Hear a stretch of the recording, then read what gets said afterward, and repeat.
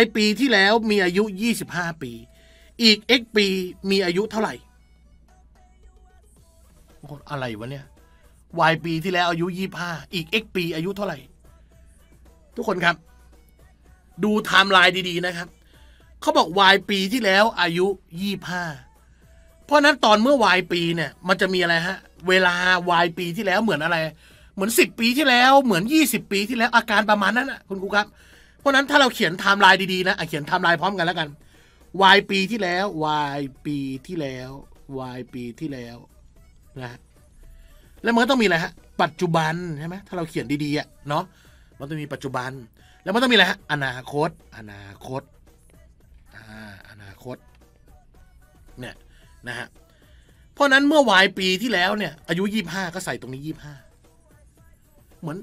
10ปีที่แล้วอายุ25อาการประมาณนั้นนะคุณครูครับ แต่เขาแค่แค่เปลี่ยนเป็นตัวแปรนะครับ แค่เปลี่ยนเป็นตัวแปรน้องเกมบอกผมสมัครแล้วครับ เอกสังคมอ่าคือใครที่มีโอกาสสมัครนะครับครูกทมนะใครที่มีโอกาสในเจ็ดเอกที่พูดถึงเอกคอมพิวเตอร์ด้วยมั้งนะครับนะ ไปสมัครซะนะครับนะ ไปสมัครซะนะอะทุกคน y ปีที่แล้ว25ครับ ปัจจุบันเท่าไหร่อะอย่าเพิ่งไปอนาคต ปัจจุบันเท่าไหร่ฮะ เหมือนสิบปีที่แล้ว ปัจจุบันก็ต้องบวกสิบใช่ไหมอันนี้ y ปีที่แล้ว ปัจจุบันก็ต้องเป็นยี่ห้าบวก y เหมือนตรงนี้เป็นสิบปีที่แล้วอะครับ พอตรงนี้ก็ต้องบวกสิบเข้าไปใช่ไหมฮะอาการเดียวกันครับ อาการเดียวกันนะอันต่อมาอนาคต แต่เผอิญอนาคตข้อเนี้ยเขาพูดว่าอีก x ปีฮะ